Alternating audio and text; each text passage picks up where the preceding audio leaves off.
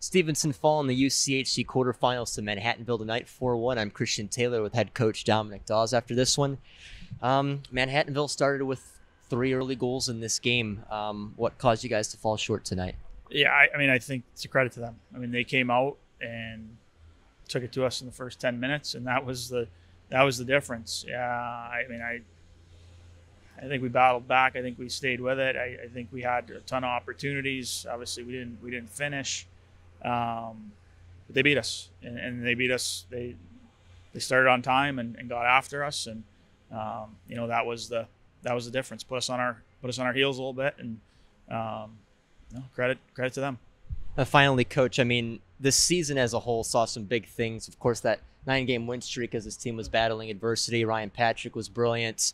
Um, another home game in the postseason. A lot of good stuff this year. What are some of your biggest takeaways that you take from this year, perhaps heading into future seasons?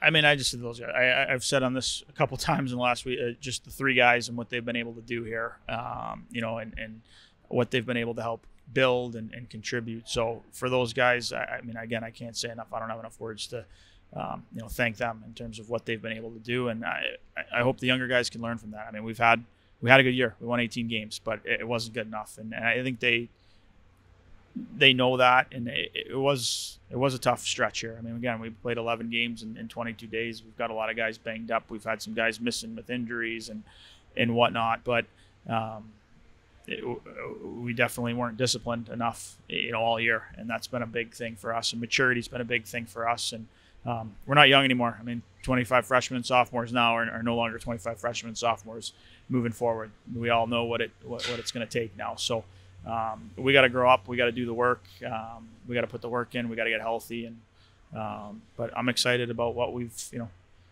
the guys are in the locker room and, and, and what we can uh, you know what we can do moving forward.